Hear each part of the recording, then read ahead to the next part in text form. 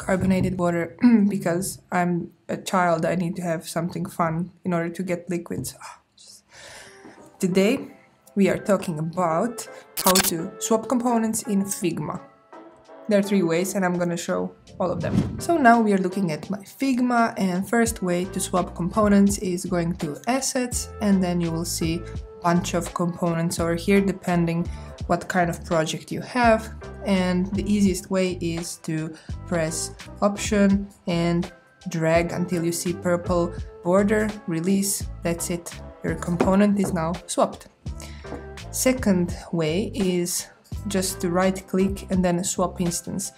As you can see over here we only have large and small. So this menu only shows components with the same hierarchy and we have buttons. I can go to layers, components.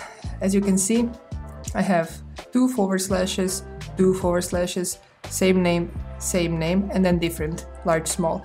This is what this sub menu shows. And then we have third way of swapping components. This is a new one.